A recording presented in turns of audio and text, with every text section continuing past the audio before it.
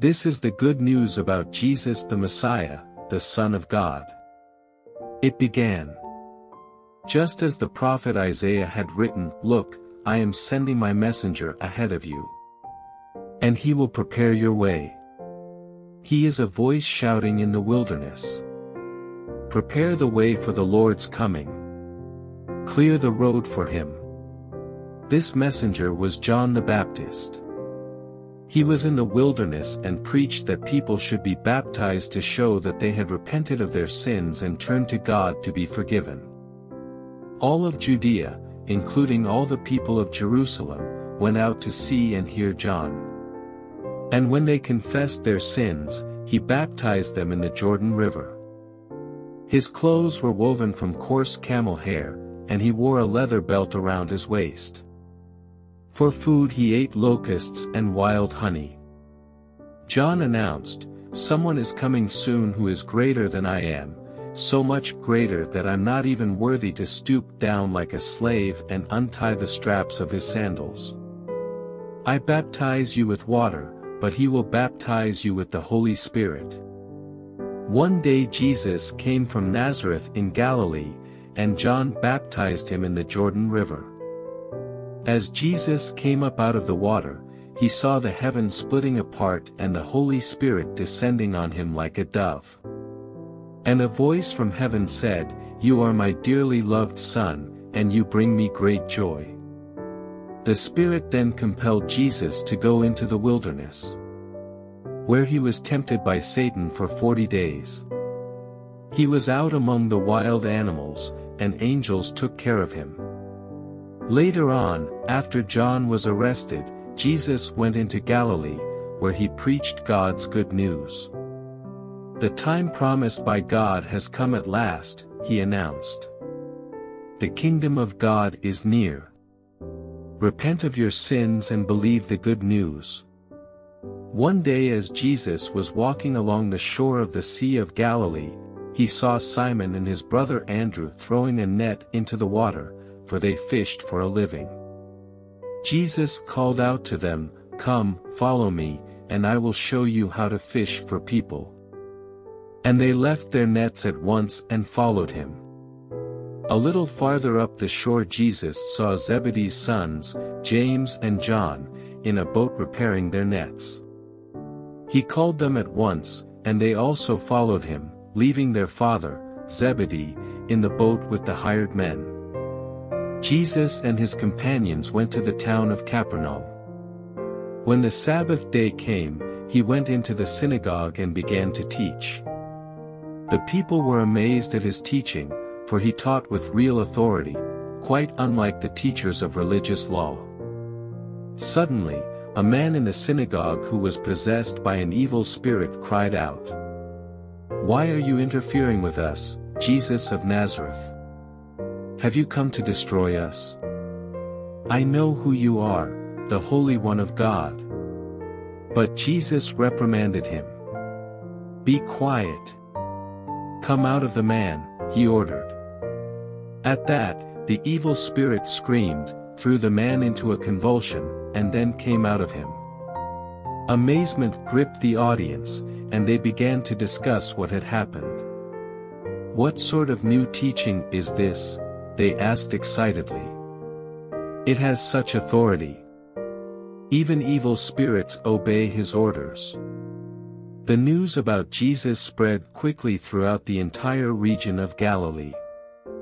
After Jesus left the synagogue with James and John, they went to Simon and Andrew's home. Now Simon's mother-in-law was sick in bed with a high fever.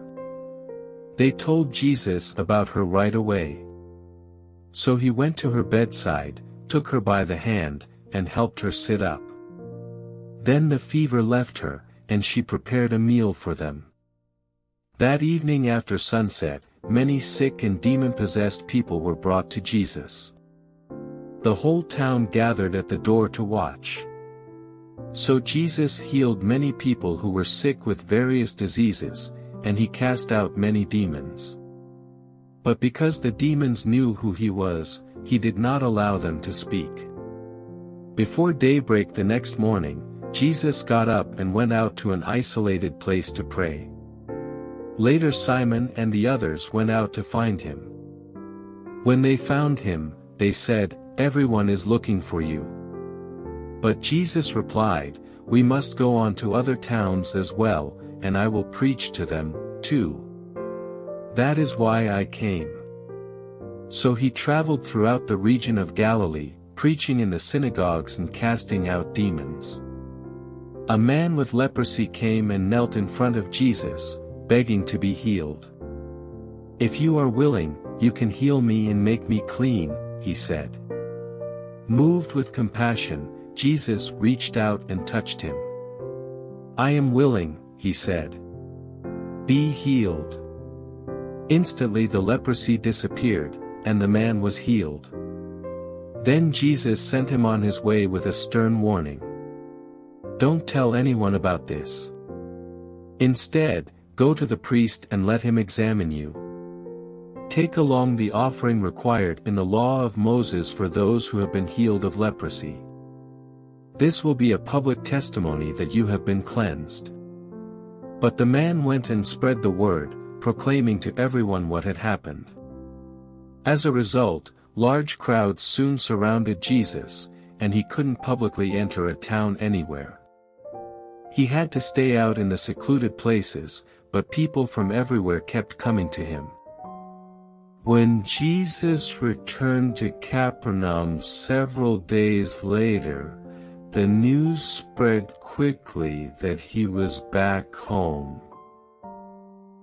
Soon the house where he was staying was so packed with visitors that there was no more room, even outside the door.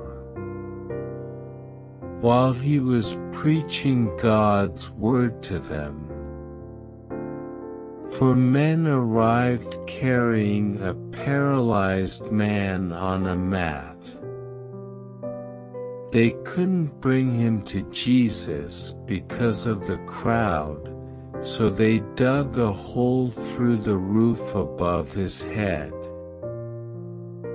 Then they lowered the man on his mat, right down in front of Jesus. Seeing their faith, Jesus said to the paralyzed man, My child, your sins are forgiven. But some of the teachers of religious law who were sitting there thought to themselves, What is he saying? This is blasphemy. Only God can forgive sins. Jesus knew immediately what they were thinking, so he asked them, Why do you question this in your hearts?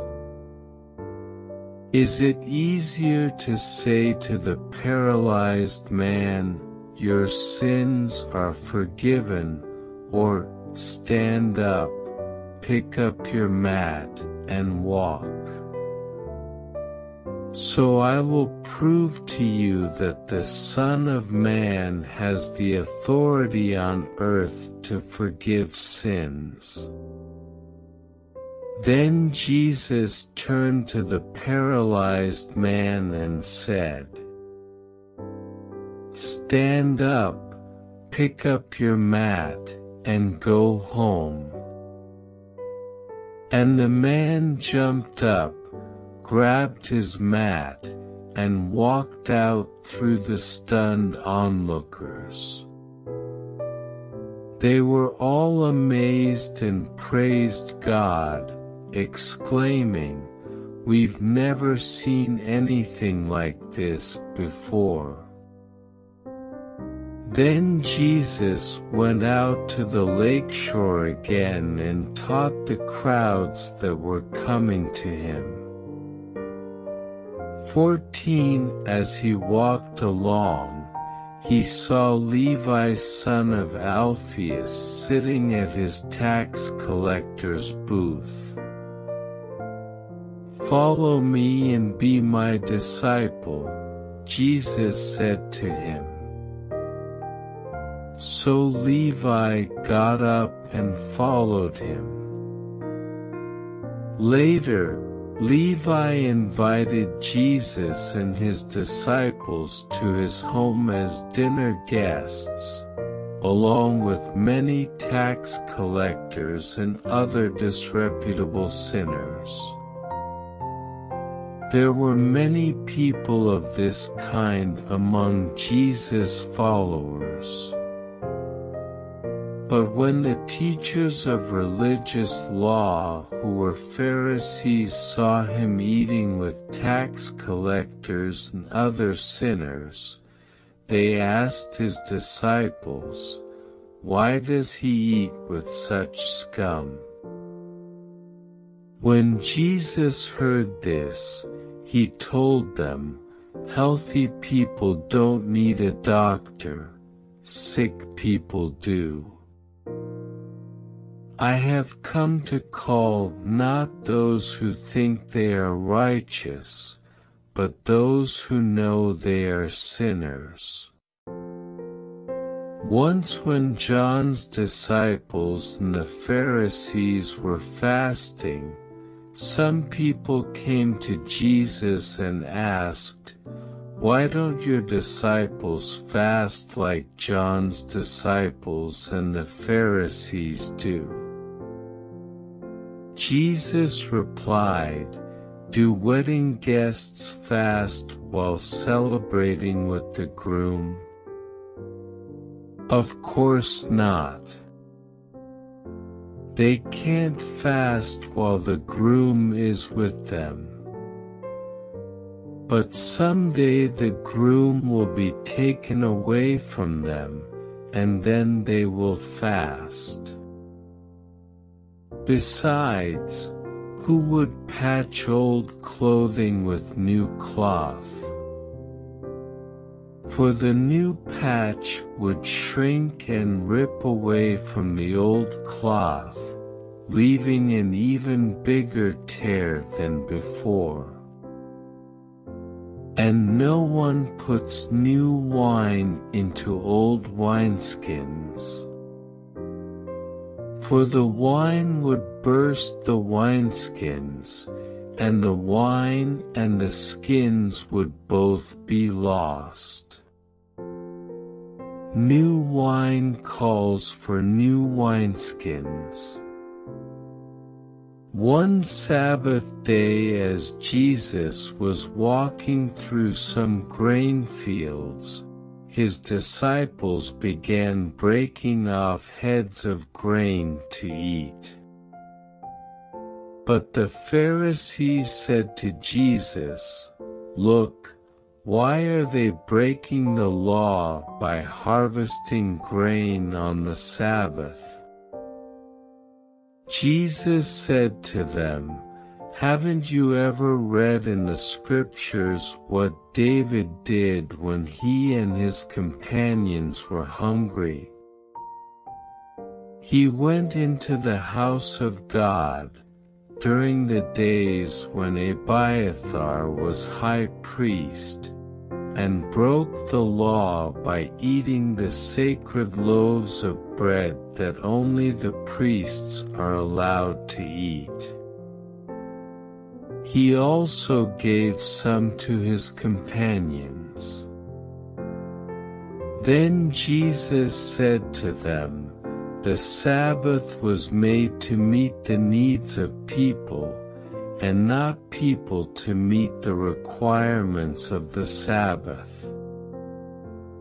So the Son of Man is Lord, even over the Sabbath.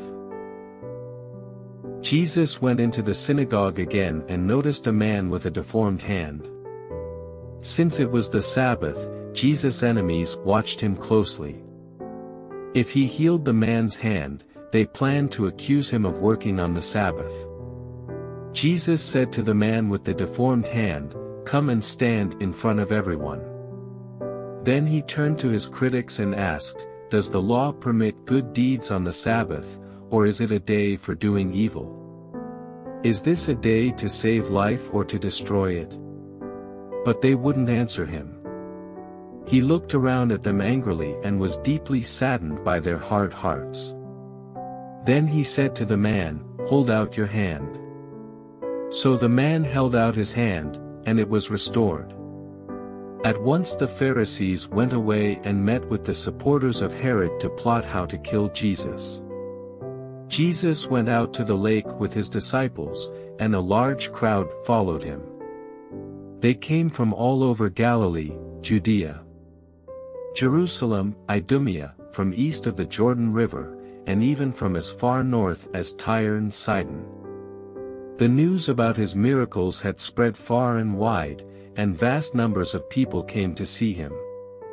Jesus instructed his disciples to have a boat ready so the crowd would not crush him. He had healed many people that day, so all the sick people eagerly pushed forward to touch him. And whenever those possessed by evil spirits caught sight of him, the spirits would throw them to the ground in front of him shrieking, You are the Son of God. But Jesus sternly commanded the spirits not to reveal who he was. Afterward Jesus went up on a mountain and called out the ones he wanted to go with him. And they came to him. Then he appointed twelve of them and called them his apostles. They were to accompany him, and he would send them out to preach. Giving them authority to cast out demons. These are the twelve he chose, Simon, whom he named Peter. James and John, the sons of Zebedee, but Jesus nicknamed them, sons of thunder. Andrew. Philip. Bartholomew. Matthew. Thomas. James, son of Alphaeus. Thaddeus. Simon, the Zealot. Judas Iscariot, who later betrayed him. One time Jesus entered a house, and the crowds began to gather again. Soon he and his disciples couldn't even find time to eat. When his family heard what was happening, they tried to take him away. He's out of his mind, they said. But the teachers of religious law who had arrived from Jerusalem said, He's possessed by Satan, the prince of demons. That's where he gets the power to cast out demons. Jesus called them over and responded with an illustration. How can Satan cast out Satan, he asked. A kingdom divided by civil war will collapse. Similarly, a family splintered by feuding will fall apart. And if Satan is divided and fights against himself, how can he stand? He would never survive. Let me illustrate this further. Who is powerful enough to enter the house of a strong man and plunder his goods? Only someone even stronger, someone who could tie him up and then plunder his house. I tell you the truth, all sin and blasphemy can be forgiven. But anyone who blasphemes the Holy Spirit will never be forgiven. This is a sin with eternal consequences. He told them this because they were saying, He's possessed by an evil spirit. Then Jesus' mother and brothers came to see him. They stood outside and sent word for him to come out and talk with them. There was a crowd sitting around Jesus, and someone said, your mother and your brothers are outside asking for you. Jesus replied, Who is my mother? Who are my brothers? Then he looked at those around him and said, Look, these are my mother and brothers. Anyone who does God's will is my brother and sister and mother. Once again Jesus began teaching by the lakeshore. A very large crowd soon gathered around him, so he got into a boat. Then he sat in a boat while all the people remained on the shore. He taught them by telling many stories in the form of parables, such as this one. Listen. A farmer went out to plant some seed. As he scattered it across his field, some of the seed fell on a footpath, and the birds came and ate it. Other seed fell on shallow soil with underlying rock. The seed sprouted quickly because the soil was shallow. But the plant soon wilted under the hot sun, and since it didn't have deep roots, it died. Other seed fell among thorns that grew up and choked out the tender plants so they produced no grain. Still other seeds fell on fertile soil, and they sprouted, grew, and produced a crop that was thirty, sixty, and even a hundred times as much as had been planted. Then he said, Anyone with ears to hear should listen and understand. Later, when Jesus was alone with the twelve disciples and with the others who were gathered around, they asked him what the parables meant. He replied, You are permitted to understand the secret of the kingdom of God. But I use parables for everything I say to outsiders. So that the scriptures might be fulfilled. When they see what I do, they will learn nothing. When they hear what I say, they will not understand. Otherwise, they will turn to me and be forgiven. Then Jesus said to them, If you can't understand the meaning of this parable, how will you understand all the other parables? The farmer plants seed by taking God's word to others. The seed that fell on the footpath represents those who hear the message, only to have Satan come at once and take it away. The seed on the rocky soil represents those who hear the message and immediately receive it with joy. But since they don't have deep roots, they don't last long. They fall away as soon as they have problems or are persecuted for believing God's word. The seed that fell among the thorns represents others who hear God's word. But all too quickly the message is crowded out by the worries of this life, the lure of wealth, and the desire for other things, so no fruit is produced. And the seed that fell on good soil represents those who hear and accept God's word and produce a harvest of 30, 60, or even a hundred times as much as had been planted. Then Jesus asked them, Would anyone light a lamp and then put it under a basket or under a bed? Of course not. A lamp is placed on a stand, where its light will shine. For everything that is hidden will eventually be brought into the open, and every secret will be brought to light. Anyone with ears to hear should listen and understand. Then he added, Pay close attention to what you hear. The closer you listen, the more understanding you will be given, and you will receive even more. To those who listen to my teaching, more understanding will be given. But for those who are not listening, even what little understanding they have will be taken away from them. Jesus also said, The kingdom of God is like a farmer who scatters seed on the ground. Night and day, while he's asleep or awake, the seed sprouts and grows, but he does not understand how it happens. The earth produces the crops on its own. First a leaf blade pushes through, then the heads of wheat are formed, and finally the grain ripens. And as soon as the grain is ready, the farmer comes and harvests it with a sickle, for the harvest time has come. Jesus said, How can I describe the kingdom of God? What story should I use to illustrate it? It is like a mustard seed planted in the ground. It is the smallest of all seeds. But it becomes the largest of all garden plants, it grows long branches, and birds can make nests in its shade. Jesus used many similar stories and illustrations to teach the people as much as they could understand. In fact, in his public ministry he never taught without using parables, but afterward, when he was alone with his disciples, he explained everything to them. As evening came, Jesus said to his disciples, Let's cross to the other side of the lake.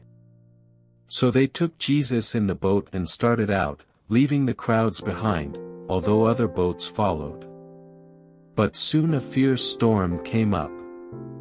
High waves were breaking into the boat, and it began to fill with water. Jesus was sleeping at the back of the boat with his head on a cushion. The disciples woke him up, shouting, Teacher, don't you care that we're going to drown? When Jesus woke up, he rebuked the wind and said to the waves, Silence. Be still. Suddenly the wind stopped, and there was a great calm. Then he asked them, Why are you afraid? Do you still have no faith? The disciples were absolutely terrified. Who is this man? They asked each other. Even the wind and waves obey him. So they arrived at the other side of the lake, in the region of the Gerasenes. When Jesus climbed out of the boat, a man possessed by an evil spirit came out from the tombs to meet him. This man lived in the burial caves and could no longer be restrained, even with a chain. Whenever he was put into chains and shackles, as he often was, he snapped the chains from his wrists and smashed the shackles. No one was strong enough to subdue him. Day and night he wandered among the burial caves and in the hills, howling and cutting himself with sharp stones. When Jesus was still some distance away, the man saw him, ran to meet him, and bowed low before him. With a shriek, he screamed, Why are you interfering with me, Jesus, Son of the Most High God? In the name of God, I beg you, don't torture me. For Jesus had already said to the spirit, Come out of the man, you evil spirit. Then Jesus demanded, What is your name? And he replied, My name is Legion, because there are many of us inside this man. Then the evil spirits begged him again and again not to send them to some distant place. There happened to be a large herd of pigs feeding on the hillside nearby. Send us into those pigs, the spirits begged. Let us enter them. So Jesus gave them permission. The evil spirits came out of the man and entered the pigs, and the entire herd of about 2,000 pigs plunged down the steep hillside into the lake and drowned in the water. The herdsmen fled to the nearby town and the surrounding countryside, spreading the news as they ran. People rushed out to see what had happened. A crowd soon gathered around Jesus, and they saw the man who had been possessed by the legion of demons. He was sitting there fully clothed and perfectly sane, and they were all afraid. Then those who had seen what happened told the others about the demon-possessed man and the pigs. And the crowd began pleading with Jesus to go away and leave them alone. As Jesus was getting into the boat, the man who had been demon-possessed begged to go with him. But Jesus said, No, go home to your family, and tell them everything the Lord has done for you and how merciful he has been. So the man started off to visit the ten towns, see, of that region and began to proclaim the great things Jesus had done for him, and everyone was amazed at what he told them. Jesus got into the boat again and went back to the other side of the lake, where a large crowd gathered around him on the shore. Then a leader of the local synagogue, whose name was Jairus, arrived. When he saw Jesus, he fell at his feet, pleading fervently with him. My little daughter is dying, he said. Please come and lay your hands on her, heal her so she can live. Jesus went with him, and all the people followed, crowding around him. A woman in the crowd had suffered for twelve years with constant bleeding. She had suffered a great deal from many doctors, and over the years she had spent everything she had to pay them, but she had gotten no better. In fact, she had gotten worse. She had heard about Jesus, so she came up behind him through the crowd and touched his robe. For she thought to herself, if I can just touch his robe, I will be healed. Immediately the bleeding stopped, and she could feel in her body that she had been healed of her terrible condition. Jesus realized at once that healing power had gone out from him, so he turned around in the crowd and asked, Who touched my robe? His disciples said to him, Look at this crowd pressing around you. How can you ask, Who touched me? But he kept on looking around to see who had done it. Then the frightened woman, trembling at the realization of what had happened to her, came and fell to her knees in front of him and told him what she had done. And he said to her, Daughter, your faith has made you well. Go in peace. Your suffering is over. While he was still speaking to her, messengers arrived from the home of Jairus, the leader of the synagogue. They told him, Your daughter is dead. There's no use troubling the teacher now. But Jesus overheard them and said to Jairus, Don't be afraid. Just have faith. Then Jesus stopped the crowd and wouldn't let anyone go with him except Peter, James, and John, the brother of James. When they came to the home of the synagogue leader, Jesus saw much commotion and weeping and wailing. He went inside and asked, Why all this commotion and weeping? The child isn't dead, she's only asleep. The crowd laughed at him. But he made them all leave, and he took the girl's father and mother and his three disciples into the room where the girl was lying. Holding her hand, he said to her, Talitha koum, which means, little girl, get up. And the girl, who was twelve years old, immediately stood up and walked around. They were overwhelmed and totally amazed. Jesus gave them strict orders not to tell anyone what had happened, and then he told them to give her something to eat. Jesus left that part of the country and returned with his disciples to Nazareth, his hometown. The next Sabbath he began teaching in the synagogue, and many who heard him were amazed. They asked, Where did he get all this wisdom and the power to perform such miracles? Then they scoffed, He's just a carpenter, the son of Mary and the brother of James, Joseph, Judas, and Simon. And his sisters live right here among us. They were deeply offended and refused to believe in him. Then Jesus told them, a prophet is honored everywhere except in his own hometown and among his relatives and his own family. And because of their unbelief, he couldn't do any miracles among them except to place his hands on a few sick people and heal them. And he was amazed at their unbelief, then Jesus went from village to village, teaching the people. And he called his twelve disciples together and began sending them out two by two, giving them authority to cast out evil spirits. He told them to take nothing for their journey except a walking stick, no food, no traveler's bag, no money.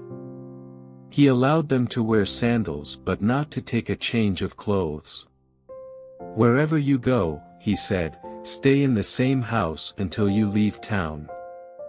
But if any place refuses to welcome you or listen to you, shake its dust from your feet as you leave to show that you have abandoned those people to their fate. So the disciples went out, telling everyone they met to repent of their sins and turn to God. And they cast out many demons and healed many sick people, anointing them with olive oil. Herod Antipas, the king, soon heard about Jesus, because everyone was talking about him. Some were saying, This must be John the Baptist raised from the dead. That is why he can do such miracles.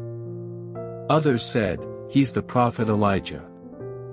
Still others said, he's a prophet like the other great prophets of the past. When Herod heard about Jesus, he said, John, the man I beheaded, has come back from the dead. For Herod had sent soldiers to arrest and imprison John as a favor to Herodias. She had been his brother Philip's wife, but Herod had married her. John had been telling Herod, it is against God's law for you to marry your brother's wife.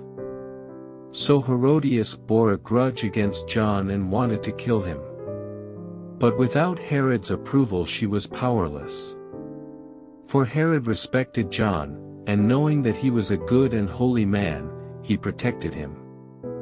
Herod was greatly disturbed whenever he talked with John, but even so, he liked to listen to him. Herodias's chance finally came on Herod's birthday. He gave a party for his high government officials, army officers, and the leading citizens of Galilee. Then his daughter, also named Herodias, came in and performed a dance that greatly pleased Herod and his guests. Ask me for anything you like, the king said to the girl, and I will give it to you. He even vowed, I will give you whatever you ask, up to half my kingdom. She went out and asked her mother, What should I ask for? Her mother told her, Ask for the head of John the Baptist. So the girl hurried back to the king and told him, I want the head of John the Baptist, right now, on a tray. Then the king deeply regretted what he had said, but because of the vows he had made in front of his guests, he couldn't refuse her. So he immediately sent an executioner to the prison to cut off John's head and bring it to him. The soldier beheaded John in the prison. Brought his head on a tray, and gave it to the girl, who took it to her mother. When John's disciples heard what had happened, they came to get his body and buried it in a tomb. The apostles returned to Jesus from their ministry tour and told him all they had done and taught. Then Jesus said, Let's go off by ourselves to a quiet place and rest a while. He said this because there were so many people coming and going that Jesus and his apostles didn't even have time to eat. So they left by boat for a quiet place, where they could be alone. But many people recognized them and saw them leaving, and people from many towns ran ahead along the shore and got there ahead of them. Jesus saw the huge crowd as he stepped from the boat, and he had compassion on them because they were like sheep without a shepherd. So he began teaching them many things. Late in the afternoon his disciples came to him and said, This is a remote place, and it's already getting late. Send the crowds away so they can go to the nearby farms and villages and buy something to eat. But Jesus said, You feed them. With what? they asked. We'd have to work for months to earn enough money to buy food for all these people. How much bread do you have? he asked. Go and find out. They came back and reported, We have five loaves of bread and two fish. Then Jesus told the disciples to have the people sit down in groups on the green grass. So they sat down in groups of fifty or a hundred. Jesus took the five loaves and two fish, looked up toward heaven, and blessed them. Then, breaking the loaves into pieces, he kept giving the bread to the disciples so they could distribute it to the people. He also divided the fish for everyone to share. They all ate as much as they wanted. And afterward, the disciples picked up twelve baskets of leftover bread and fish. A total of 5,000 men and their families were fed. Immediately after this, Jesus insisted that his disciples get back into the boat and head across the lake to Bethsaida, while he sent the people home. After telling everyone goodbye, he went up into the hills by himself to pray. Late that night, the disciples were in their boat in the middle of the lake, and Jesus was alone on land. He saw that they were in serious trouble, rowing hard and struggling against the wind and waves. About three o'clock in the morning Jesus came toward them, walking on the water. He intended to go past them. But when they saw him walking on the water, they cried out in terror, thinking he was a ghost. They were all terrified when they saw him. But Jesus spoke to them at once. Don't be afraid, he said. Take courage. I am here. Then he climbed into the boat, and the wind stopped. They were totally amazed. For they still didn't understand the significance of the miracle of the loaves. Their hearts were too hard to take it in. After they had crossed the lake, they landed at Gennesaret. They brought the boat to shore. And climbed out. The people recognized Jesus at once. And they ran throughout the whole area, carrying sick people on mats to wherever they heard he was. Wherever he went, in villages, cities, or the countryside, they brought the sick out to the marketplaces. They begged him to let the sick touch at least the fringe of his robe, and all who touched him were healed. One day some Pharisees and teachers of religious law arrived from Jerusalem to see Jesus. They noticed that some of his disciples failed to follow the Jewish ritual of hand-washing before eating. The Jews, especially the Pharisees, do not eat until they have poured water over their cupped hands, as required by their ancient traditions. Similarly, they don't eat anything from the market until they immerse their hands in water. This is but one of many traditions they have clung to, such as their ceremonial washing of cups, pitchers, and kettles. So the Pharisees and teachers of religious law asked him, why don't your disciples follow our age-old tradition? They eat without first performing the hand-washing ceremony. Jesus replied, You hypocrites! Isaiah was right when he prophesied about you, for he wrote, These people honor me with their lips. But their hearts are far from me. Their worship is a farce. For they teach man-made ideas as commands from God. For you ignore God's law and substitute your own tradition. Then he said, You skillfully sidestep God's law in order to hold on to your own tradition. For instance, Moses gave you this law from God, honor your father and mother, and anyone who speaks disrespectfully of father or mother must be put to death. But you say it is all right for people to say to their parents, sorry, I can't help you. For I have vowed to give to God what I would have given to you. In this way, you let them disregard their needy parents. And so you cancel the word of God in order to hand down your own tradition. And this is only one example among many others. Then Jesus called to the crowd to come and hear. All of you listen, he said, and try to understand. It's not what goes into your body that defiles you, you are defiled by what comes from your heart. Then Jesus went into a house to get away from the crowd, and his disciples asked him what he meant by the parable he had just used. Don't you understand either, he asked. Can't you see that the food you put into your body cannot defile you? Food doesn't go into your heart, but only passes through the stomach and then goes into the sewer. By saying this, he declared that every kind of food is acceptable in God's eyes. And then he added, it is what comes from inside that defile you. For from within, out of a person's heart, come evil thoughts, sexual immorality, theft, murder, adultery, greed, wickedness, deceit, lustful desires, envy, slander, pride, and foolishness. All these vile things come from within, they are what defile you. Then Jesus left Galilee and went north to the region of Tyre. He didn't want anyone to know which house he was staying in, but he couldn't keep it a secret. Right away a woman who had heard about him came and fell at his feet. Her little girl was possessed by an evil spirit. And she begged him to cast out the demon from her daughter since she was a Gentile, born in Syrian Phoenicia. Jesus told her, First I should feed the children, my own family, the Jews.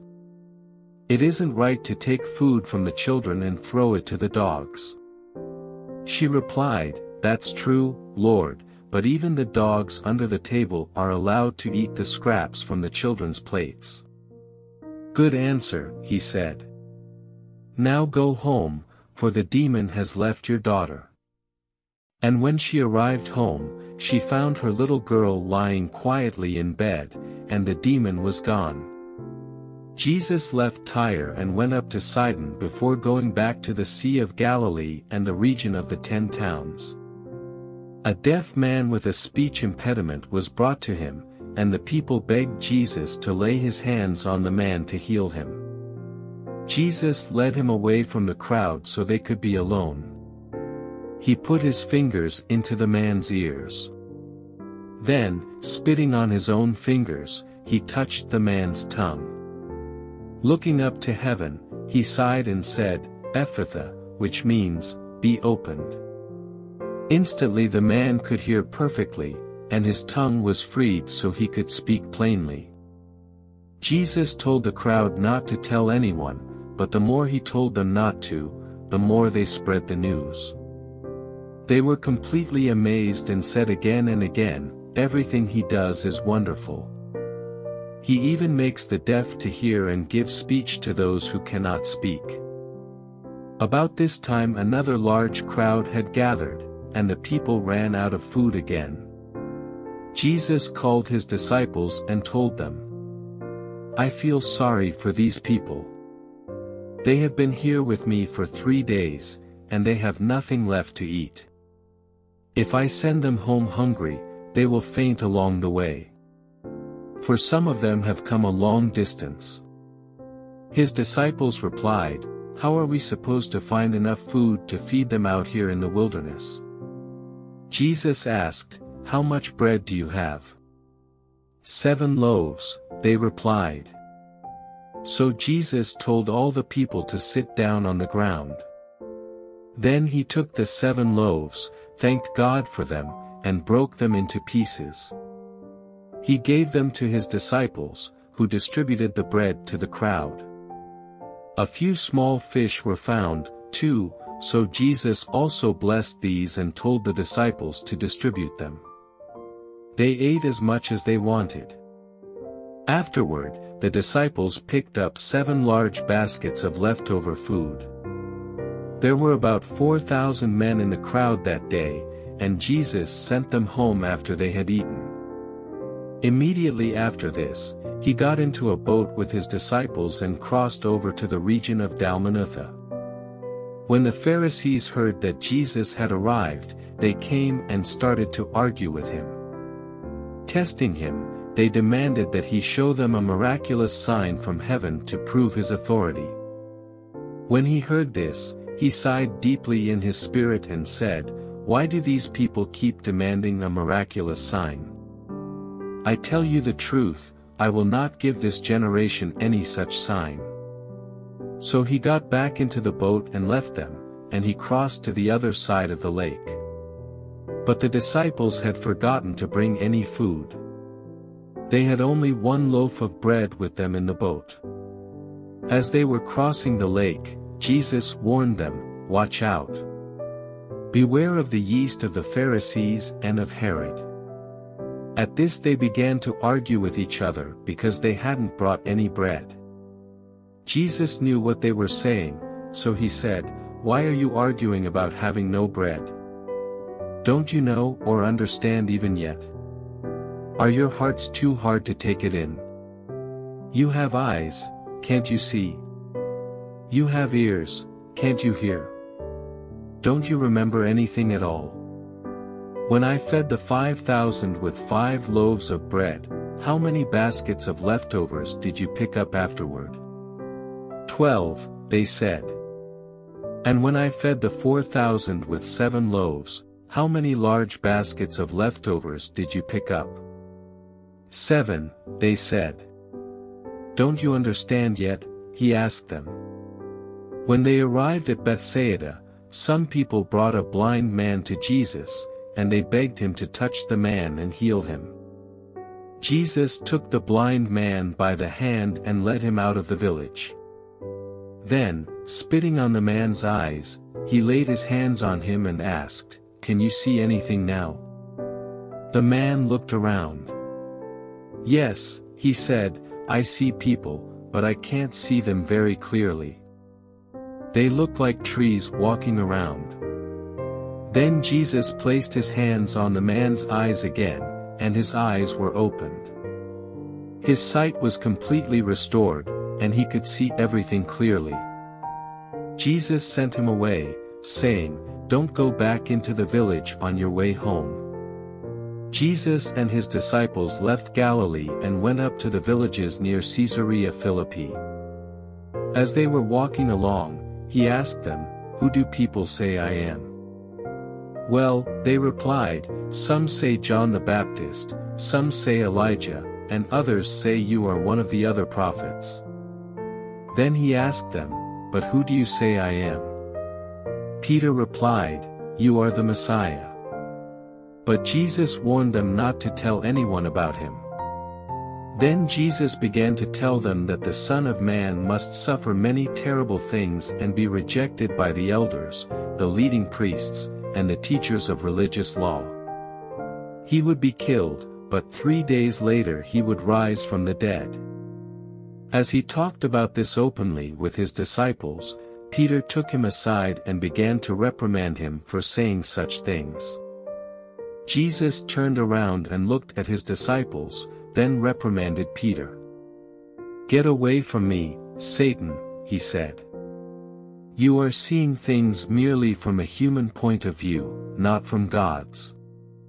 Then, calling the crowd to join his disciples, he said, If any of you wants to be my follower, you must give up your own way, take up your cross, and follow me.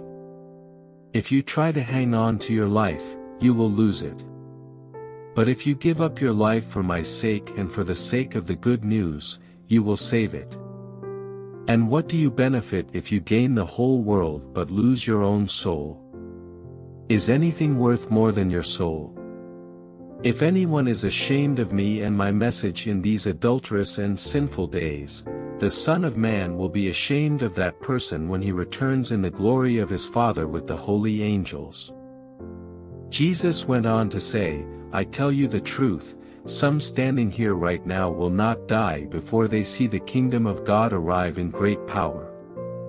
Six days later Jesus took Peter, James, and John, and led them up a high mountain to be alone. As the men watched, Jesus' appearance was transformed. And his clothes became dazzling white, far whiter than any earthly bleach could ever make them. Then Elijah and Moses appeared and began talking with Jesus. Peter exclaimed, Rabbi, it's wonderful for us to be here. Let's make three shelters as memorials, one for you, one for Moses, and one for Elijah. He said this because he didn't really know what else to say, for they were all terrified. Then a cloud overshadowed them, and a voice from the cloud said, this is my dearly loved son. Listen to him. Suddenly, when they looked around, Moses and Elijah were gone, and they saw only Jesus with them. As they went back down the mountain, he told them not to tell anyone what they had seen until the Son of Man had risen from the dead. So they kept it to themselves, but they often asked each other what he meant by, rising from the dead. Then they asked him, why do the teachers of religious law insist that Elijah must return before the Messiah comes? Jesus responded, Elijah is indeed coming first to get everything ready. Yet why do the scriptures say that the Son of Man must suffer greatly and be treated with utter contempt? But I tell you, Elijah has already come, and they chose to abuse him, just as the scriptures predicted. When they returned to the other disciples, they saw a large crowd surrounding them, and some teachers of religious law were arguing with them. When the crowd saw Jesus, they were overwhelmed with awe, and they ran to greet him. What is all this arguing about? Jesus asked. One of the men in the crowd spoke up and said, Teacher, I brought my son so you could heal him. He is possessed by an evil spirit that won't let him talk. And whenever this spirit seizes him, it throws him violently to the ground. Then he foams at the mouth and grinds his teeth and becomes rigid. So I asked your disciples to cast out the evil spirit, but they couldn't do it. Jesus said to them, You faithless people! How long must I be with you? How long must I put up with you? Bring the boy to me. So they brought the boy. But when the evil spirit saw Jesus, it threw the child into a violent convulsion, and he fell to the ground, writhing and foaming at the mouth. How long has this been happening? Jesus asked the boy's father. He replied, Since he was a little boy. The Spirit often throws him into the fire or into water, trying to kill him. Have mercy on us and help us, if you can. What do you mean, if I can? Jesus asked. Anything is possible if a person believes. The father instantly cried out, I do believe, but help me overcome my unbelief. When Jesus saw that the crowd of onlookers was growing, he rebuked the evil, F, spirit. Listen, you spirit that makes this boy unable to hear and speak, he said. I command you to come out of this child and never enter him again. Then the spirit screamed and threw the boy into another violent convulsion and left him. The boy appeared to be dead. A murmur ran through the crowd as people said, He's dead. But Jesus took him by the hand and helped him to his feet, and he stood up.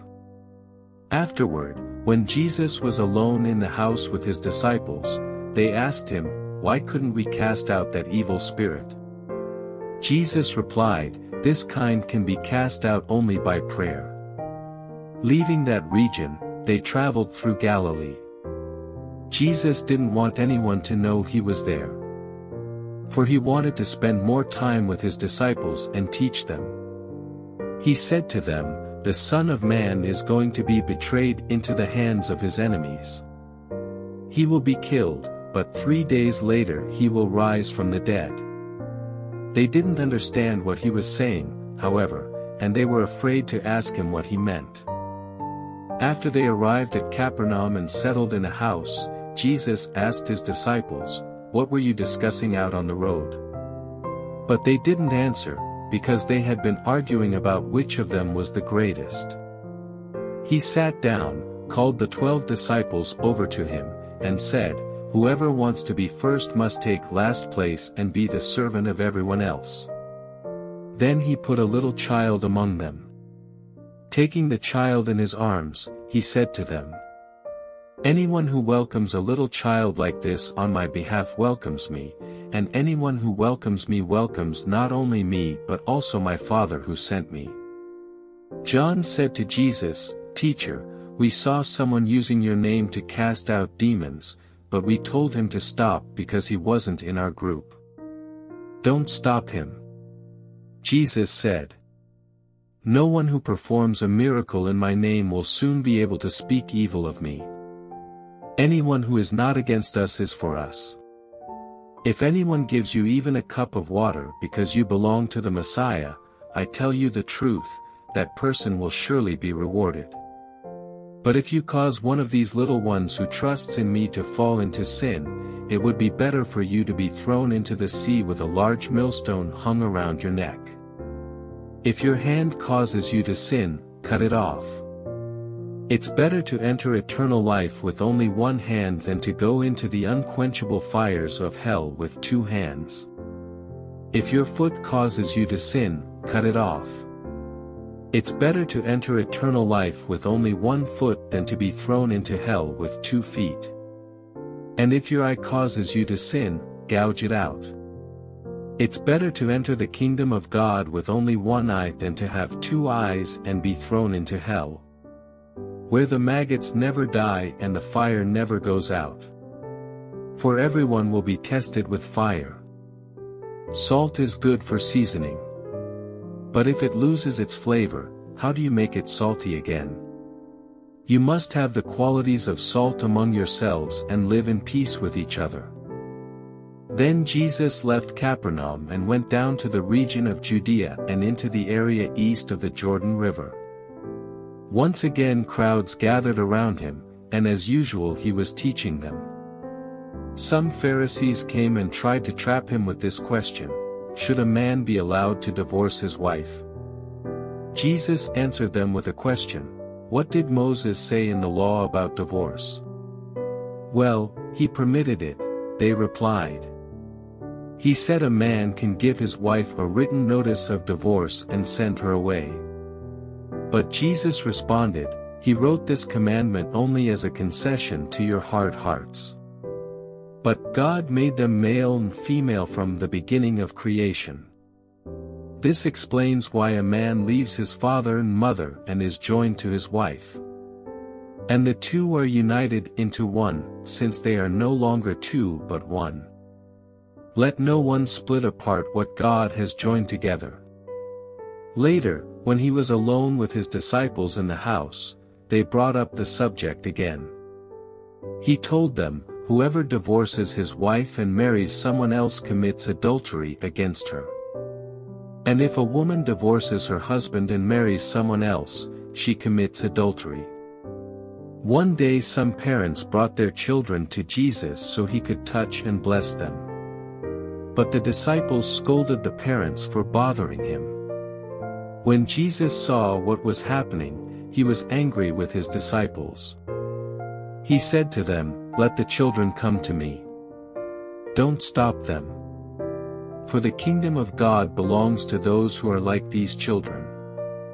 I tell you the truth, anyone who doesn't receive the kingdom of God like a child will never enter it. Then he took the children in his arms and placed his hands on their heads and blessed them. As Jesus was starting out on his way to Jerusalem, a man came running up to him, knelt down, and asked, Good teacher, what must I do to inherit eternal life? Why do you call me good? Jesus asked.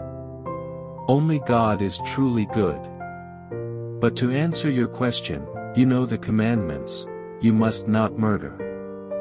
You must not commit adultery. You must not steal. You must not testify falsely. You must not cheat anyone. Honor your father and mother.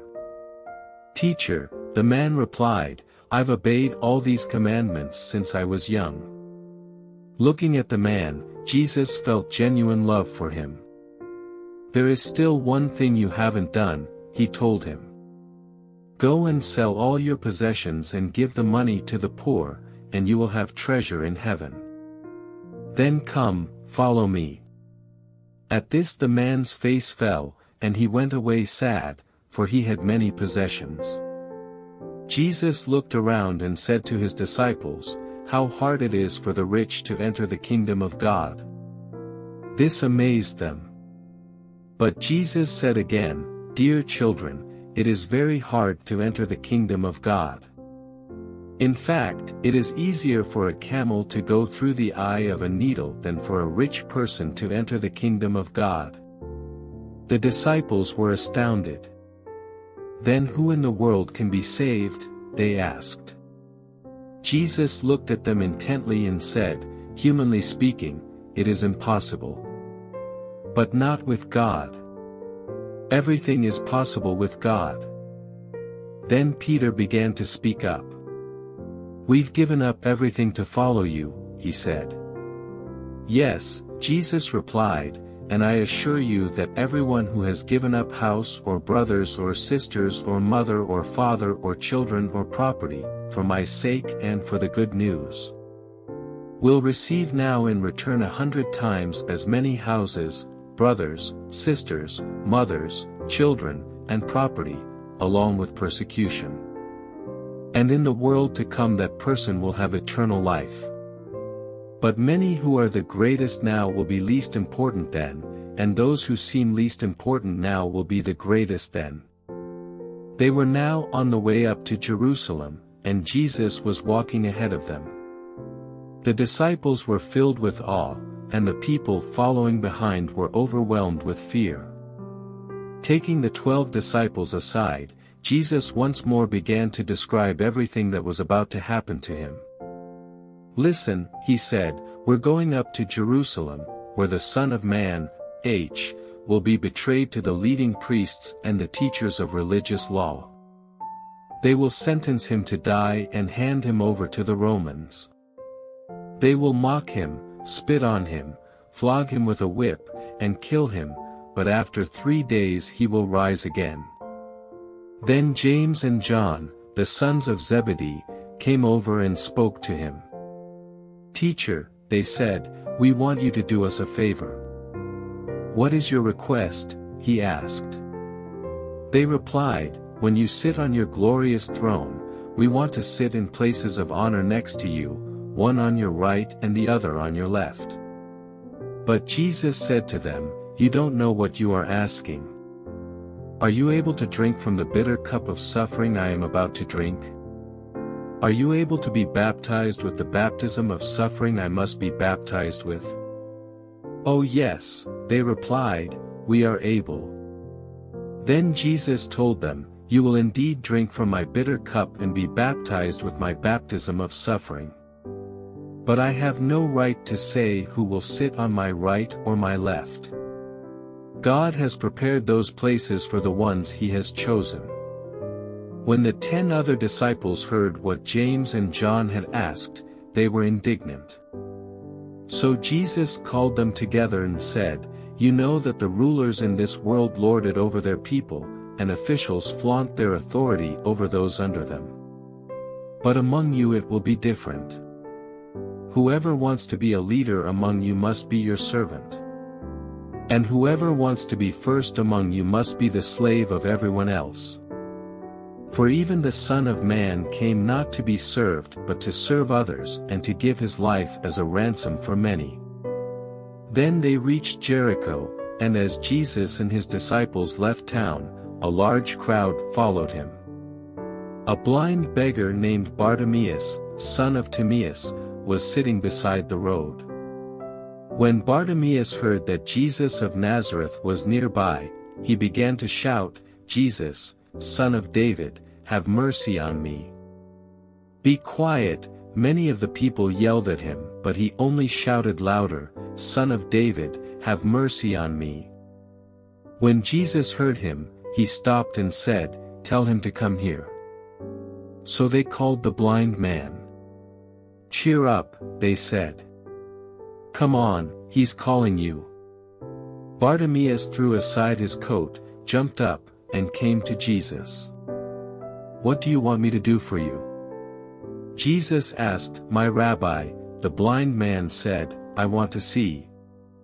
And Jesus said to him, Go, for your faith has healed you. Instantly the man could see, and he followed Jesus down the road. As Jesus and his disciples approached Jerusalem, they came to the towns of Bethphage and Bethany on the Mount of Olives. Jesus sent two of them on ahead. Go into that village over there, he told them. As soon as you enter it, you will see a young donkey tied there that no one has ever ridden. Untie it and bring it here. If anyone asks, What are you doing? just say, the Lord needs it and will return it soon. The two disciples left and found the colt standing in the street, tied outside the front door. As they were untying it, some bystanders demanded, What are you doing, untying that colt? They said what Jesus had told them to say, and they were permitted to take it. Then they brought the colt to Jesus and threw their garments over it, and he sat on it. Many in the crowd spread their garments on the road ahead of him, and others spread leafy branches they had cut in the fields. Jesus was in the center of the procession, and the people all around him were shouting, Praise God! Blessings on the one who comes in the name of the Lord. Blessings on the coming kingdom of our ancestor David. Praise God in highest heaven. So Jesus came to Jerusalem and went into the temple. After looking around carefully at everything, he left because it was late in the afternoon. Then he returned to Bethany with the twelve disciples. The next morning as they were leaving Bethany, Jesus was hungry. He noticed a fig tree in full leaf a little way off, so he went over to see if he could find any figs. But there were only leaves because it was too early in the season for fruit. Then Jesus said to the tree, May no one ever eat your fruit again. And the disciples heard him say it. When they arrived back in Jerusalem, Jesus entered the temple and began to drive out the people buying and selling animals for sacrifices. He knocked over the tables of the money changers and the chairs of those selling doves. And he stopped everyone from using the temple as a marketplace. He said to them, The scriptures declare, My temple will be called a house of prayer for all nations, but you have turned it into a den of thieves. When the leading priests and teachers of religious law heard what Jesus had done, they began planning how to kill him. But they were afraid of him because the people were so amazed at his teaching. That evening Jesus and the disciples left the city. The next morning as they passed by the fig tree he had cursed, the disciples noticed it had withered from the roots up. Peter remembered what Jesus had said to the tree on the previous day and exclaimed, Look, Rabbi! The fig tree you cursed has withered and died. Then Jesus said to the disciples, Have faith in God. I tell you the truth, you can say to this mountain, May you be lifted up and thrown into the sea, and it will happen. But you must really believe it will happen and have no doubt in your heart. I tell you, you can pray for anything, and if you believe that you've received it, it will be yours. But when you are praying, first forgive anyone you are holding a grudge against, so that your Father in heaven will forgive your sins, too. Again they entered Jerusalem. As Jesus was walking through the temple area, the leading priests, the teachers of religious law, and the elders came up to him. They demanded, By what authority are you doing all these things? Who gave you the right to do them? I'll tell you by what authority I do these things if you answer one question, Jesus replied. Did John's authority to baptize come from heaven, or was it merely human? Answer me. They talked it over among themselves. If we say it was from heaven, he will ask why we didn't believe John. But do we dare say it was merely human? For they were afraid of what the people would do, because everyone believed that John was a prophet. So they finally replied, We don't know. And Jesus responded, Then I won't tell you by what authority I do these things. Then Jesus began teaching them with stories. A man planted a vineyard. He built a wall around it, dug a pit for pressing out the grape juice, and built a lookout tower. Then he leased the vineyard to tenant farmers and moved to another country. At the time of the grape harvest, he sent one of his servants to collect his share of the crop. But the farmers grabbed the servant, beat him up, and sent him back empty-handed. The owner then sent another servant, but they insulted him and beat him over the head. The next servant he sent was killed. Others he sent were either beaten or killed. Until there was only one left, his son whom he loved dearly. The owner finally sent him, thinking, surely they will respect my son. But the tenant farmers said to one another, Here comes the heir to this estate. Let's kill him and get the estate for ourselves. So they grabbed him and murdered him and threw his body out of the vineyard. What do you suppose the owner of the vineyard will do? Jesus asked. I'll tell you, He will come and kill those farmers and lease the vineyard to others. Didn't you ever read this in the scriptures? The stone that the builders rejected has now become the cornerstone. This is the Lord's doing. And it is wonderful to see. The religious leaders wanted to arrest Jesus because they realized he was telling the story against them. They were the wicked farmers. But they were afraid of the crowd, so they left him and went away. Later the leaders sent some Pharisees and supporters of Herod to trap Jesus into saying something for which he could be arrested. Teacher, they said, we know how honest you are. You are impartial and don't play favorites. You teach the way of God truthfully. Now tell us, is it right to pay taxes to Caesar or not? Should we pay them, or shouldn't we? Jesus saw through their hypocrisy and said, Why are you trying to trap me? Show me a Roman coin, and I'll tell you. When they handed it to him, he asked, whose picture and title are stamped on it. Caesar's, they replied.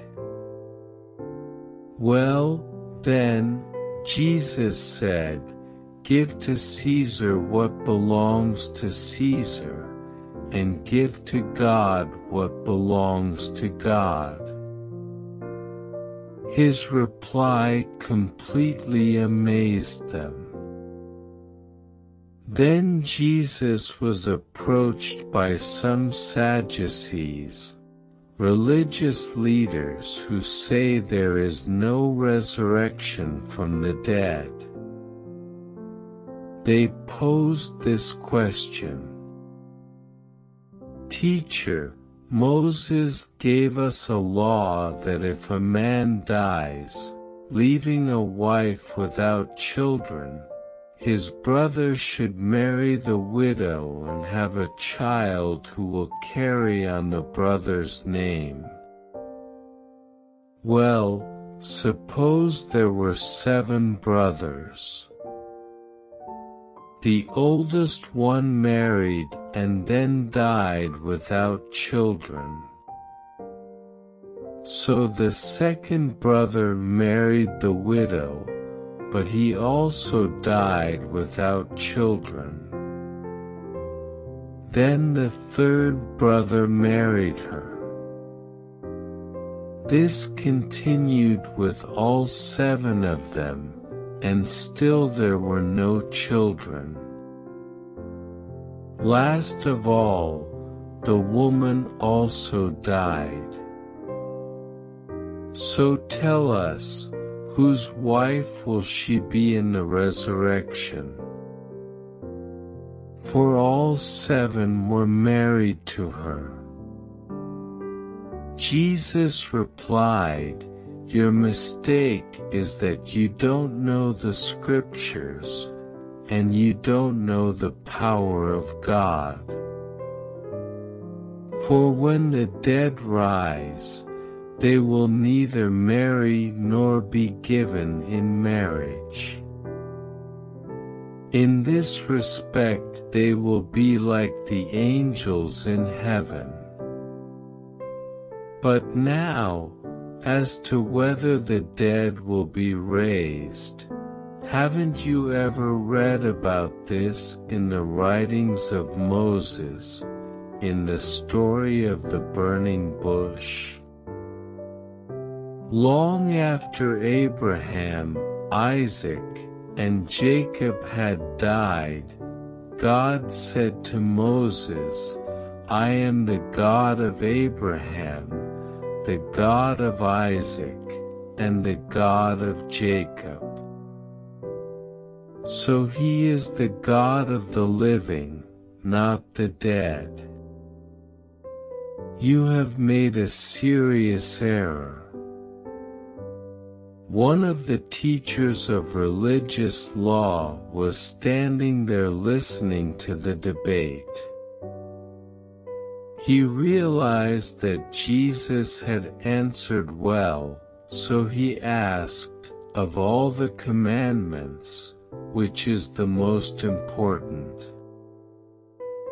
Jesus replied, the most important commandment is this, Listen, O Israel.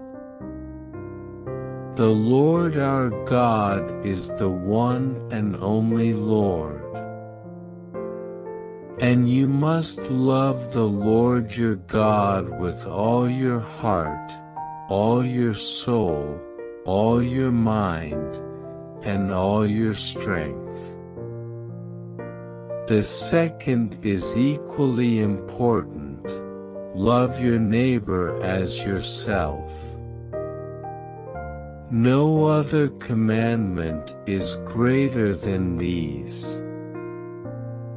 The teacher of religious law replied, Well said, teacher. You have spoken the truth by saying that there is only one God and no other. And I know it is important to love him with all my heart and all my understanding and all my strength, and to love my neighbor as myself. This is more important than to offer all of the burnt offerings and sacrifices required in the law. Realizing how much the man understood, Jesus said to him, You are not far from the kingdom of God. And after that, no one dared to ask him any more questions. Later, as Jesus was teaching the people in the temple, he asked, why do the teachers of religious law claim that the Messiah is the son of David? For David himself, speaking under the inspiration of the Holy Spirit, said, The Lord said to my Lord, Sit in the place of honor at my right hand until I humble your enemies beneath your feet. Since David himself called the Messiah my Lord, how can the Messiah be his son? The large crowd listened to him with great delight. Jesus also taught, Beware of these teachers of religious law. For they like to parade around in flowing robes and receive respectful greetings as they walk in the marketplaces. And how they love the seats of honor in the synagogues and the head table at banquets. Yet they shamelessly cheat widows out of their property and then pretend to be pious by making long prayers in public. Because of this, they will be more severely punished. Jesus sat down near the collection box in the temple and watched as the crowds dropped in their money. Many rich people put in large amounts. Then a poor widow came and dropped in two small coins. Jesus called his disciples to him and said, I tell you the truth, this poor widow has given more than all the others who are making contributions. For they gave a tiny part of their surplus, but she, poor as she is, has given everything she had to live on. As Jesus was leaving the temple that day, one of his disciples said, Teacher, look at these magnificent buildings. Look at the impressive stones in the walls. Jesus replied, Yes, look at these great buildings. But they will be completely demolished. Not one stone will be left on top of another. Later, Jesus sat on the Mount of Olives across the valley from the temple. Peter, James, John, and Andrew came to him privately and asked him, Tell us, when will all this happen? What sign will show us that these things are about to be fulfilled? Jesus replied, Don't let anyone mislead you. For many will come in my name, claiming, I am the Messiah. They will deceive many. And you will hear of wars and threats of wars, but don't panic. Yes, these things must take place, but the end won't follow immediately. Nation will go to war against nation, and kingdom against kingdom. There will be earthquakes in many parts of the world, as well as famines. But this is only the first of the birth pains, with more to come. When these things begin to happen, watch out. You will be handed over to the local councils and beaten in the synagogues. You will stand trial before governors and kings because you are my followers. But this will be your opportunity to tell them about me. For the good news must first be preached to all nations. But when you are arrested and stand trial, don't worry in advance about what to say. Just say what God tells you at that time, for it is not you who will be speaking, but the Holy Spirit. A brother will betray his brother to death, a father will betray his own child, and children will rebel against their parents and cause them to be killed. And everyone will hate you because you are my followers. But the one who endures to the end will be saved.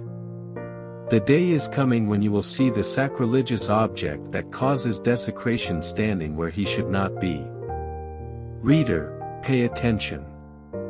Then those in Judea must flee to the hills. A person out on the deck of a roof must not go down into the house to pack. A person out in the field must not return even to get a coat. How terrible it will be for pregnant women and for nursing mothers in those days. And pray that your flight will not be in winter. For there will be greater anguish in those days than at any time since God created the world. And it will never be so great again. In fact, unless the Lord shortens that time of calamity, not a single person will survive. But for the sake of his chosen ones he has shortened those days. Then if anyone tells you, Look, here is the Messiah, or, there he is, don't believe it. For false messiahs and false prophets will rise up and perform signs and wonders so as to deceive, if possible, even God's chosen ones. Watch out. I have warned you about this ahead of time. At that time, after the anguish of those days, the sun will be darkened. The moon will give no light. The stars will fall from the sky, and the powers in the heavens will be shaken. Then everyone will see the Son of Man coming on the clouds with great power and glory. And he will send out his angels to gather his chosen ones from all over the world, from the farthest ends of the earth and heaven. Now learn a lesson from the fig tree. When its branches bud and its leaves begin to sprout, you know that summer is near. In the same way, when you see all these things taking place, you can know that his return is very near, right at the door. I tell you the truth, this generation will not pass from the scene before all these things take place. Heaven and earth will disappear, but my words will never disappear. However, no one knows the day or hour when these things will happen, not even the angels in heaven or the Son himself. Only the Father knows. And since you don't know when that time will come, be on guard.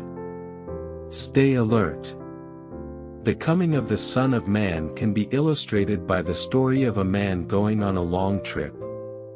When he left home, he gave each of his slaves instructions about the work they were to do, and he told the gatekeeper to watch for his return. You, too, must keep watch. For you don't know when the master of the household will return, in the evening, at midnight, before dawn, or at daybreak. Don't let him find you sleeping when he arrives without warning. I say to you what I say to everyone, watch for him. It was now two days before Passover and the festival of unleavened bread. The leading priests and the teachers of religious law were still looking for an opportunity to capture Jesus secretly and kill him. But not during the Passover celebration, they agreed, or the people may riot. Meanwhile, Jesus was in Bethany at the home of Simon, a man who had previously had leprosy. While he was eating, a woman came in with a beautiful alabaster jar of expensive perfume made from essence of nard. She broke open the jar and poured the perfume over his head. Some of those at the table were indignant. Why waste such expensive perfume, they asked. It could have been sold for a year's wages and the money given to the poor. So they scolded her harshly. But Jesus replied, Leave her alone. Why criticize her for doing such a good thing to me? You will always have the poor among you, and you can help them whenever you want to. But you will not always have me.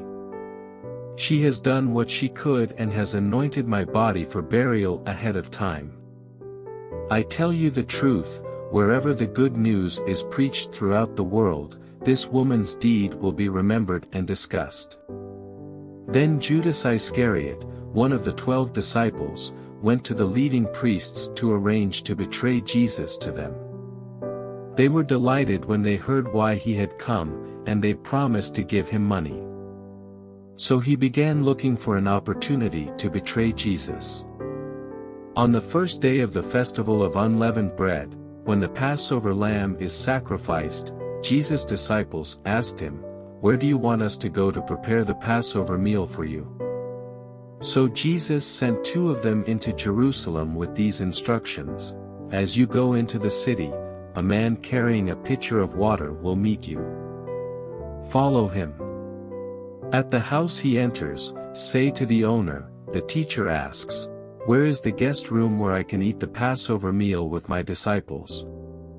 He will take you upstairs to a large room that is already set up. That is where you should prepare our meal. So the two disciples went into the city and found everything just as Jesus had said, and they prepared the Passover meal there. In the evening Jesus arrived with the twelve. As they were at the table, see, eating, Jesus said, I tell you the truth, one of you eating with me here will betray me. Greatly distressed, each one asked in turn, Am I the one? He replied, It is one of you twelve who is eating from this bowl with me. For the Son of Man must die, as the Scriptures declared long ago. But how terrible it will be for the one who betrays him. It would be far better for that man if he had never been born. As they were eating, Jesus took some bread and blessed it. Then he broke it in pieces and gave it to the disciples, saying, Take it, for this is my body. And he took a cup of wine and gave thanks to God for it. He gave it to them, and they all drank from it. And he said to them, This is my blood, which confirms the covenant between God and his people. It is poured out as a sacrifice for many. I tell you the truth, I will not drink wine again until the day I drink it new in the kingdom of God. Then they sang a hymn and went out to the Mount of Olives. On the way, Jesus told them, All of you will desert me. For the scriptures say, God will strike the shepherd. And the sheep will be scattered. But after I am raised from the dead, I will go ahead of you to Galilee and meet you there. Peter said to him, Even if everyone else deserts you, I never will. Jesus replied, I tell you the truth, Peter, this very night, before the rooster crows twice, you will deny three times that you even know me. No. Peter declared emphatically. Even if I have to die with you, I will never deny you. And all the others vowed the same. They went to the olive grove called Gethsemane, and Jesus said, Sit here while I go and pray. He took Peter, James, and John with him, and he became deeply troubled and distressed. He told them, My soul is crushed with grief to the point of death. Stay here and keep watch with me. He went on a little farther and fell to the ground. He prayed that, if it were possible, the awful hour awaiting him might pass him by. Abba, Father, he cried out, everything is possible for you. Please take this cup of suffering away from me. Yet I want your will to be done, not mine. Then he returned and found the disciples asleep. He said to Peter, Simon, are you asleep? Couldn't you watch with me even one hour? Keep watch and pray, so that you will not give in to temptation. For the spirit is willing, but the body is weak. Then Jesus left them again and prayed the same prayer as before. When he returned to them again, he found them sleeping, for they couldn't keep their eyes open. And they didn't know what to say. When he returned to them the third time, he said, Go ahead and sleep. Have your rest. But no, the time has come. The Son of Man is betrayed into the hands of sinners. Up, let's be going. Look, my betrayer is here. And immediately, even as Jesus said this, Judas, one of the twelve disciples, arrived with a crowd of men armed with swords and clubs. They had been sent by the leading priests, the teachers of religious law, and the elders. The traitor, Judas, had given them a prearranged signal, you will know which one to arrest when I greet him with a kiss. Then you can take him away under guard. As soon as they arrived, Judas walked up to Jesus. Rabbi, he exclaimed, and gave him the kiss. Then the others grabbed Jesus and arrested him. But one of the men with Jesus pulled out his sword and struck the high priest's slave, slashing off his ear. Jesus asked them, Am I some dangerous revolutionary, that you come with swords and clubs to arrest me? Why didn't you arrest me in the temple? I was there among you teaching every day. But these things are happening to fulfill what the scriptures say about me. Then all his disciples deserted him and ran away. One young man following behind was clothed only in a long linen shirt. When the mob tried to grab him, he slipped out of his shirt and ran away naked. They took Jesus to the high priest's home where the leading priests, the elders, and the teachers of religious law had gathered. Meanwhile, Peter followed him at a distance and went right into the high priest's courtyard. There he sat with the guards, warming himself by the fire. Inside, the leading priests and the entire high council were trying to find evidence against Jesus, so they could put him to death. But they couldn't find any. Many false witnesses spoke against him, but they contradicted each other. Finally, some men stood up and gave this false testimony. We heard him say, I will destroy this temple made with human hands, and in three days I will build another, made without human hands. But even then they didn't get their story straight. Then the high priest stood up before the others and asked Jesus, Well, aren't you going to answer these charges? What do you have to say for yourself? But Jesus was silent and made no reply. Then the high priest asked him, Are you the Messiah, the Son of the Blessed One? Jesus said, I am.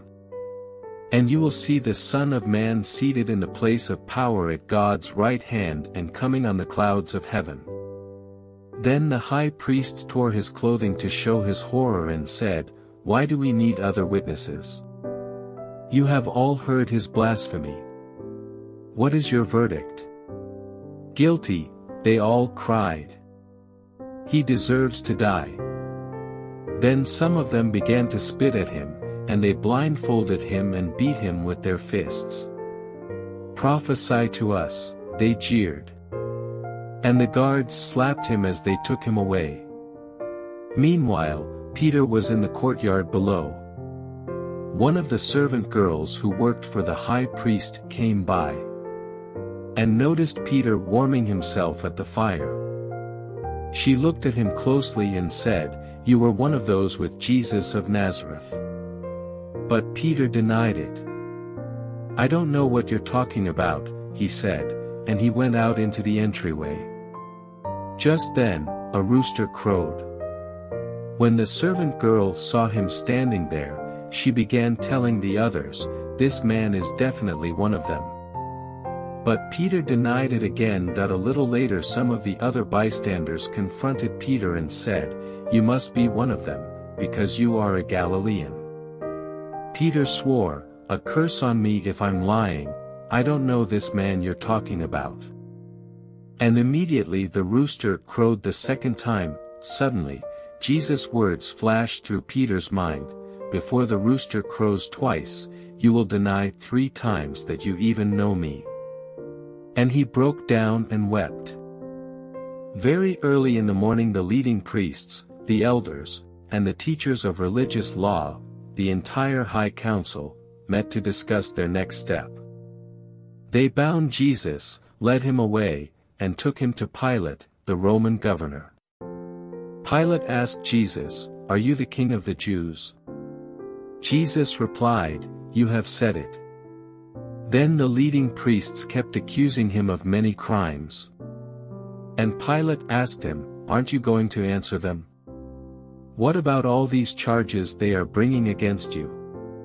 But Jesus said nothing, much to Pilate's surprise. Now it was the governor's custom each year during the Passover celebration to release one prisoner, anyone the people requested. One of the prisoners at that time was Barabbas, a revolutionary who had committed murder in an uprising. The crowd went to Pilate and asked him to release a prisoner as usual. Would you like me to release to you this king of the Jews? Pilate asked. For he realized by now that the leading priests had arrested Jesus out of envy. But at this point the leading priests stirred up the crowd to demand the release of Barabbas instead of Jesus. Pilate asked them, Then what should I do with this man you call the king of the Jews? They shouted back, Crucify him. Why? Pilate demanded. What crime has he committed? But the mob roared even louder, Crucify him. So to pacify the crowd, Pilate released Barabbas to them. He ordered Jesus flogged with a lead-tipped whip, then turned him over to the Roman soldiers to be crucified. The soldiers took Jesus into the courtyard of the governor's headquarters, called the Praetorium, and called out the entire regiment. They dressed him in a purple robe, and they wove thorn branches into a crown and put it on his head.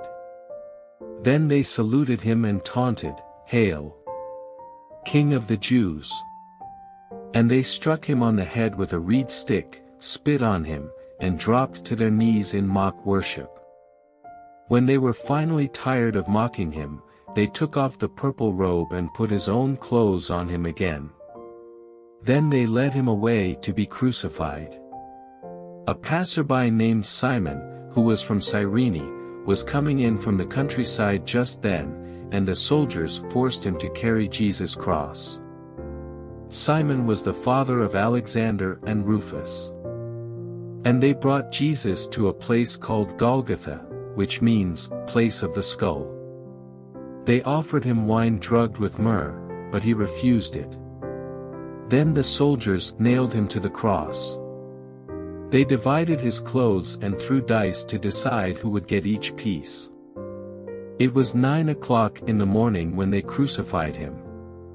A sign announced the charge against him. It read, the King of the Jews. Two revolutionaries were crucified with him, one on his right and one on his left. The people passing by shouted abuse, shaking their heads in mockery. Ha! Look at you now, they yelled at him. You said you were going to destroy the temple and rebuild it in three days. Well then, save yourself and come down from the cross. The leading priests and teachers of religious law also mocked Jesus. He saved others, they scoffed, but he can't save himself. Let this Messiah, this King of Israel, come down from the cross so we can see it and believe him. Even the men who were crucified with Jesus ridiculed him. At noon, darkness fell across the whole land until three o'clock. Then at three o'clock Jesus called out with a loud voice, Eloi, Eloi, lema sabachthani, which means, My God, my God, why have you abandoned me? Some of the bystanders misunderstood and thought he was calling for the prophet Elijah. One of them ran and filled a sponge with sour wine, holding it up to him on a reed stick so he could drink. Wait, he said. Let's see whether Elijah comes to take him down. Then Jesus uttered another loud cry and breathed his last. And the curtain in the sanctuary of the temple was torn in two, from top to bottom.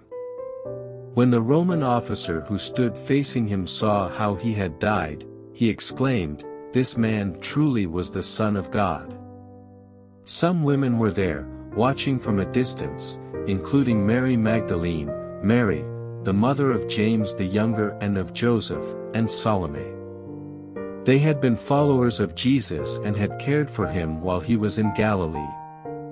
Many other women who had come with him to Jerusalem were also there. This all happened on Friday, the day of preparation, the day before the Sabbath. As evening approached, Joseph of Arimathea took a risk and went to Pilate and asked for Jesus' body. Joseph was an honored member of the High Council, and he was waiting for the kingdom of God to come. Pilate couldn't believe that Jesus was already dead, so he called for the Roman officer and asked if he had died yet. The officer confirmed that Jesus was dead, so Pilate told Joseph he could have the body. Joseph bought a long sheet of linen cloth. Then he took Jesus' body down from the cross, wrapped it in a cloth, and laid it in a tomb that had been carved out of the rock. Then he rolled a stone in front of the entrance. Mary Magdalene and Mary the mother of Joseph saw where Jesus' body was laid. Saturday evening, when the Sabbath ended, Mary Magdalene, Mary the mother of James, and Salome went out and purchased burial spices so they could anoint Jesus' body. Very early on Sunday morning, just at sunrise, they went to the tomb. On the way they were asking each other, who will roll away the stone for us from the entrance to the tomb? But as they arrived, they looked up and saw that the stone, which was very large, had already been rolled aside. When they entered the tomb, they saw a young man clothed in a white robe sitting on the right side. The women were shocked. But the angel said, Don't be alarmed. You are looking for Jesus of Nazareth, who was crucified. He isn't here. He is risen from the dead. Look, this is where they laid his body. Now go and tell his disciples, including Peter, that Jesus is going ahead of you to Galilee. You will see him there, just as he told you before he died. The women fled from the tomb, trembling and bewildered, and they said nothing to anyone because they were too frightened, then they briefly reported all this to Peter and his companions. Afterward Jesus himself sent them out from east to west with the sacred and unfailing message of salvation that gives eternal. After Jesus rose from the dead early on Sunday morning, the first person who saw him was Mary Magdalene, the woman from whom he had cast out seven demons. She went to the disciples, who were grieving and weeping, and told them what had happened. But when she told them that Jesus was alive and she had seen him, they didn't believe her. Afterward he appeared in a different form to two of his followers who were walking from Jerusalem into the country. They rushed back to tell the others, but no one believed them. Still later he appeared to the eleven disciples as they were eating together. He rebuked them for their stubborn unbelief because they refused to believe those who had seen him after he had been raised from the dead. And then he told them, Go into all the world and preach the good news to everyone. Anyone who believes and is baptized will be saved. But anyone who refuses to believe will be condemned. These miraculous signs will accompany those who believe, they will cast out demons in my name, and they will speak in new languages. They will be able to handle snakes with safety, and if they drink anything poisonous, it won't hurt them. They will be able to place their hands on the sick, and they will be healed. When the Lord Jesus had finished talking with them, he was taken up into heaven and sat down in the place of honor at God's right hand. And the disciples went everywhere and preached, and the Lord worked through them, confirming what they said by many miraculous signs.